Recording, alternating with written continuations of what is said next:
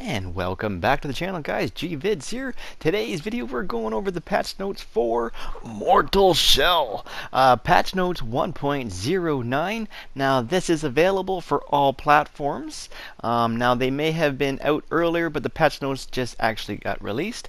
Uh, so I thought I'd go over them just in case if you guys didn't know about it. You can run on over there and hit that download button. But let's just get right on into it today. Uh, first thing is game icon updates photo mode fixes, DLC download support, they got it now, a whole bunch of bug fixes, localization updates.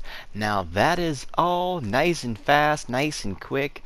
Um, I'm glad to see that they're making updates. I hope you guys find these things informative or entertaining in any way. If you guys do, make sure you share, like, and subscribe, and I'll catch you on the next one. Peace.